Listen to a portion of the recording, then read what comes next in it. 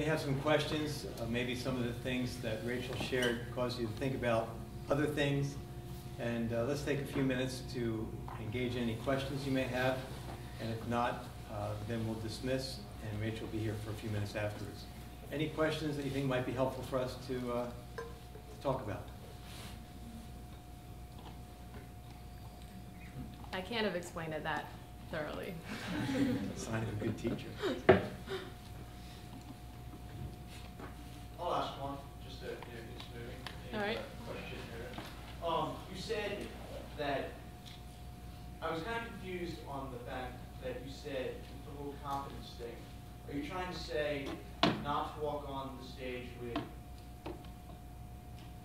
swagger, but rather, or, uh, not to strut, but then at the same time, are we supposed to not feel confident? I'm kind of confused on Oh. the whole idea. No, definitely, you have to walk on stage with confidence. Okay. I think I, I'm trying to say that you need to have confidence in your abilities, in the level of preparation that you have, in your understanding of who you are, and your knowledge of the music. Having a reason for everything you do, every choice you make musically. To be able to defend it if someone said, Why are you doing that? You have a reason. Um, definitely. I mean, that's a must. You don't want to hear a performer that goes on stage and is not confident in what they're doing. If they don't believe in themselves, why would we why would the audience believe in them? I think there's a difference between that and going on, ugh, I am the best person out here. You know? Having that swagger, like you said, and, and pride. I think there's a huge difference between that and yet again, the line is very fine between having just a presence and a confidence and and coming across or actually being proud. Does that answer? Okay, so you're saying just have a balance between confidence and humility then? Is that kind of what you're trying to say? Um, yeah, I guess it is. Okay. Yeah. Yeah.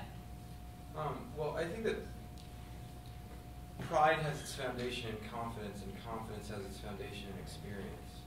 Um, you can't, well, and this is just me, you know, I'm not, I'm not writing the book as I sit here, but um, I think you can't. Uh, you, your confidence shouldn't be. I, I, I guess I'm just commentating less than anything okay. on, on the dialogue you just had. Um, but your confidence has to be rooted in experience. Yes, I mean, you know, some people have said before, if you're going to play a wrong note, make it the best wrong note anyone's ever played in the world. Right. dedicated. But besides that, I mean, coming onto the stage confidence, I feel like David. I mean, if you're going on the stage, I feel like you should have confidence, not because you're making yourself confident and being confident, but because you prepared accordingly and you're ready to play. Mean, there should be a, I think, an evident confidence in that. And I think pride comes when your basis is not upon the experience and your preparation for that event, but upon the confidence that you already have, that you're just confident in yourself for confidence's sake, Right. um, which I think is dangerous. Right. I think you're absolutely right. I don't think that pride necessarily is a result of confidence. I don't think it's an absolute next step. So I think you can be confident without being proud. Mm-hmm. Oh, I think, I think so too. Yeah. Some of it may have to do also with uh, how you view the event. If you are serving the music, then, then pride is kind of an irrelevant response. You, know, you can have confidence that you're prepared so that you can serve.